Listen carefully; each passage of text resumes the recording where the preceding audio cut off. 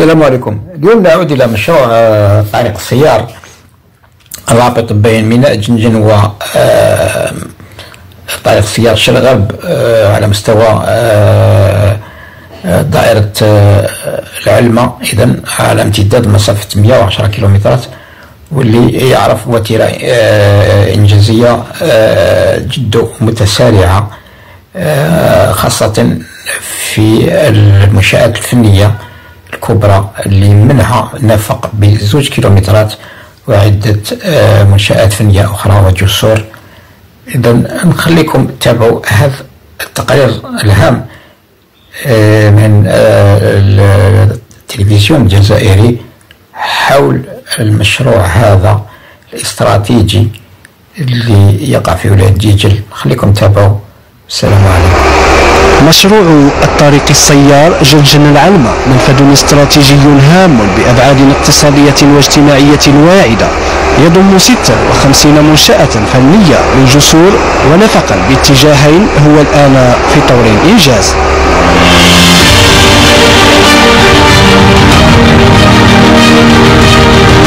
على مسافة 110 كيلومترات يمتد هذا المشروع الحيوي الهام الذي يربط ميناء جنجن بالطريق السيار شرق غرب على مستوى مدينة العلمة.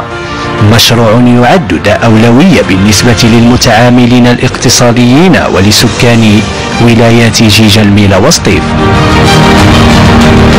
هذا الطريق تاع جنجن آه، العلمة.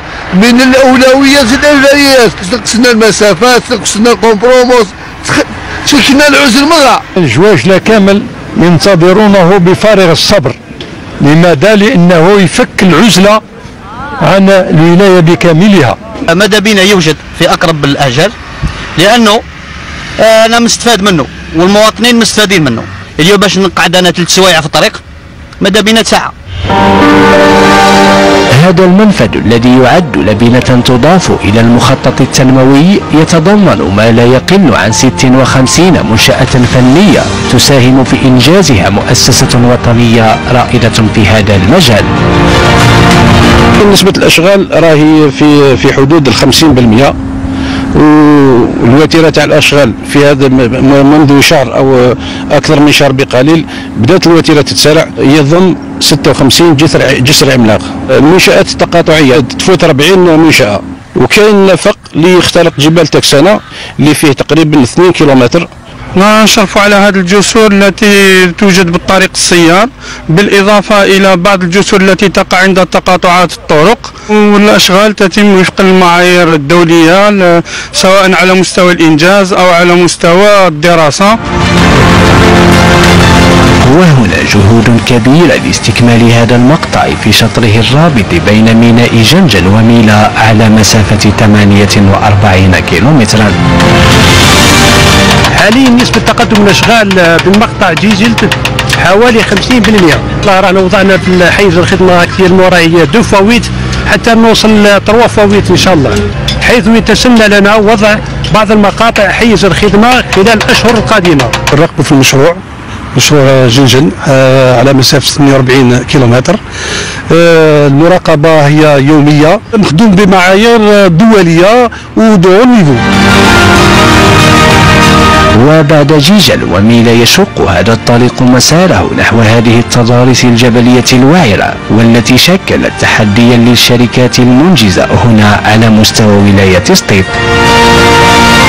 مقطع سطيف. يمتد على حوالي 62 كيلومتر بما فيه شطرين.